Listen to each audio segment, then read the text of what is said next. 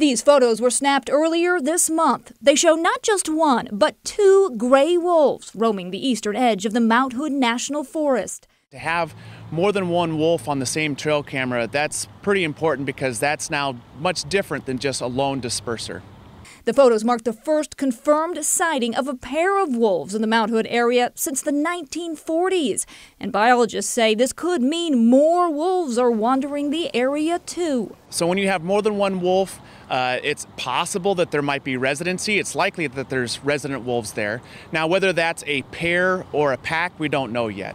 If it does turn out to be a wolf pack, it would have company in the Cascades. Several years ago, cameras set up near Crater Lake captured images of what has become known as the rogue wolf pack. State biologists say their next step will be to survey the area of the Mount Hood National Forest where the recent photos were taken to try and find out just how many wolves are there.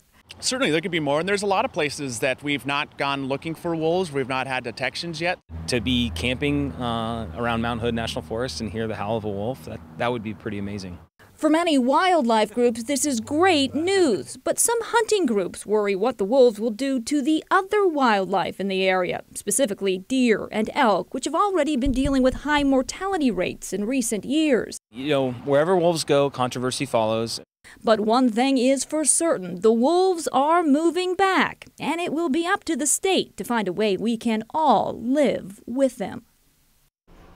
Now, the Oregon Department of Fish and Wildlife says it is getting some calls from worried hikers and campers. The agency says there is no reason to be worried. Wolves are naturally afraid of people and attacks on humans are extremely rare.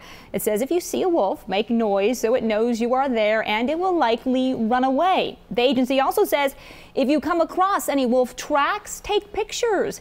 That information helps biologists better track the animals. Back to you.